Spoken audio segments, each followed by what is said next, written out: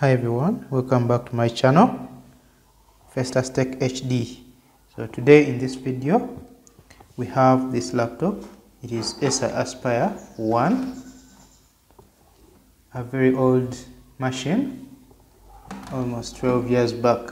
They could be more than 12. And today this PC has an issue.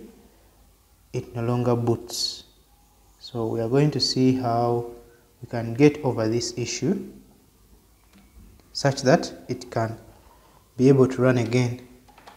As you can see when you connect to the power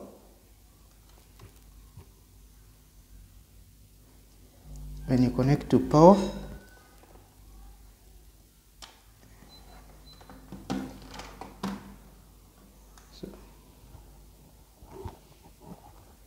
this LED lights meaning it has to be charging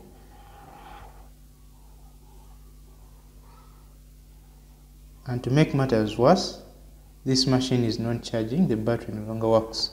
So when you press the power button it goes off.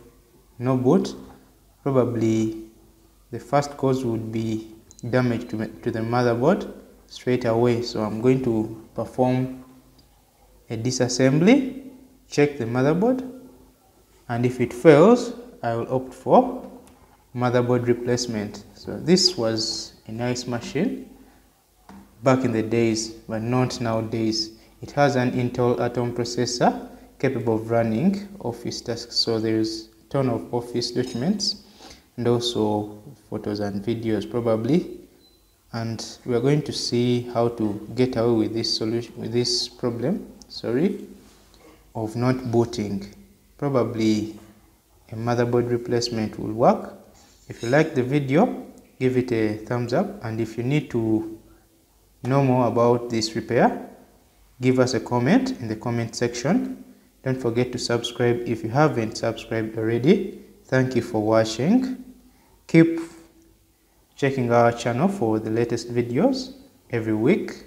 Thank you for watching. Have a nice evening